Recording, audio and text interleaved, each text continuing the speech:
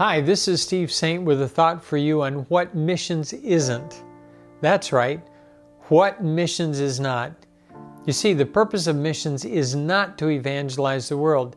Jesus gave that job to the church, not to missions.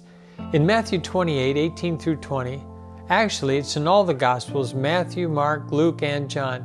But in Matthew, Jesus is very specific where he tells his disciples, who represent the church, not missions, go into all the world and make disciples of all the nations. Now remember, he said, Go and make not believers, but disciples.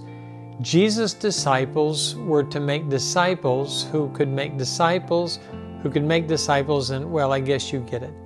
It's like a franchise. Think McDonald's.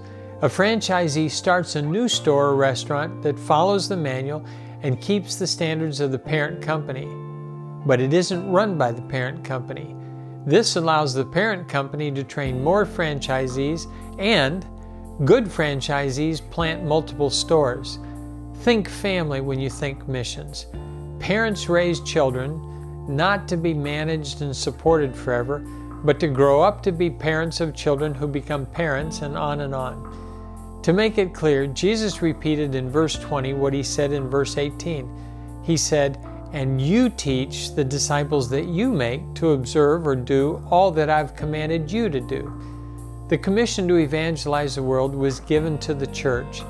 The church has to plant the church where it doesn't exist so that that church can evangelize its part of the world. Pretty soon, the church reaches the whole world. That's the purpose of missions to plant the church where it doesn't exist so that it can evangelize its world. Whoa! I hope you get this. Remember, when you think missions, think family.